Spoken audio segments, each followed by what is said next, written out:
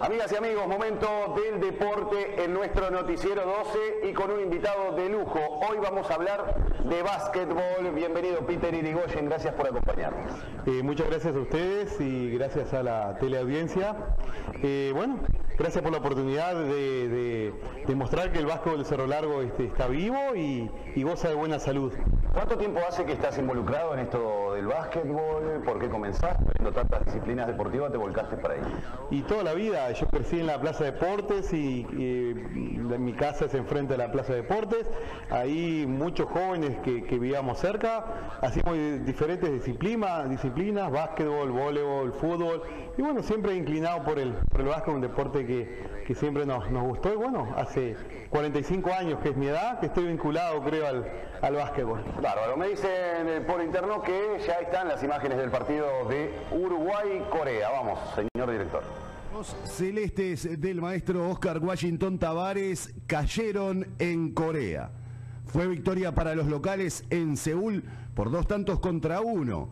El gol uruguayo fue convertido por Matías Vecino. Una pobrísima actuación futbolística de la Celeste, que no se animó a jugar a ningún rival que poco exigió. Muchísimo para mejorar. A destacar el debut de Sarachi, que ingresó por Diego Laxalt. También eh, los que ingresaron fueron Gastón Silva, Maximiliano Gómez y Pereiro para la salida de Naitán Nández, Estuani y Matías Vecino. Mucho que desear dejó esta pobre presentación en el amistoso de Uruguay ante Corea. Los celestes vuelven a jugar el próximo día martes desde las 7 y 35 de la mañana de nuestro país ante Japón.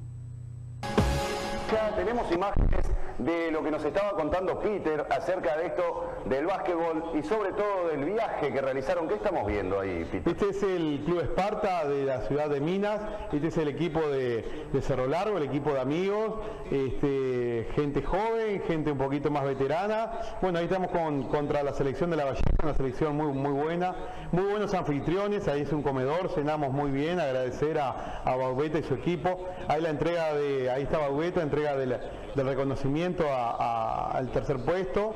Eh, yo apuesto a, lo que somos un grupo de amigos, ¿verdad? Más que una selección, somos un grupo de amigos que compartimos cosas buenas y cosas malas. Eh, ahí ya estamos, este, sí, seguimos con las imágenes de, la Valleja. Esa imagen es contra, el, contra eh, Soriano, trajo un equipo ágil, un equipo sub-20, que lo están, lo, están probando para, para competir.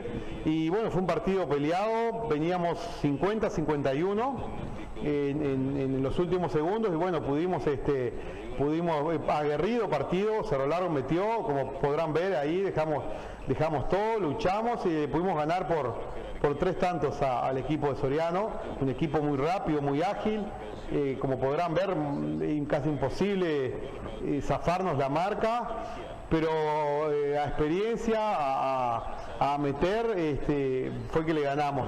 Ellos eran muy superiores en cuanto a juego y en cuanto a velocidad, pero también prima, prima otras cosas. Esos son los segundos finales, veníamos este, por un punto. Eh, ganándoles, este, ellos apretaron la marca, pero diseñamos, se pidió un tiempo, diseñamos una jugada. Saque, pase rápido para que no nos hagan FAU y ahí hicieron FAU, faltando una décima segundo. Ahí venimos ganando por un tanto. Eh, Rodrigo, uno de los mejores jugadores, él es de Bella Unión, que estaba viviendo el Melo, metió los dos libres y, pudimos este, ganarle por tres tantos al equipo de Soriano, un equipo son eh, chiquilines que son casi profesionales, juegan a un nivel muy alto.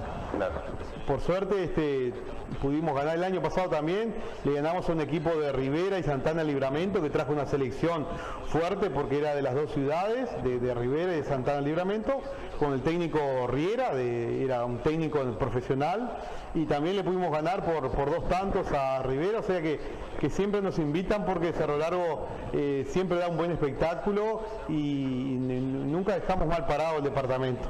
Si no podemos este, a, habilidad, bueno, ponemos otra cosa que, que los cerrolarguenses tenemos, que, es, que es garra y, siempre, siempre ganando en el límite. Las disputadas siempre son, son para nosotros. Peter, más que agradecidos con vos, bienvenido a tu casa, que es Canal 12, la casa de los deportes, así que a las órdenes siempre.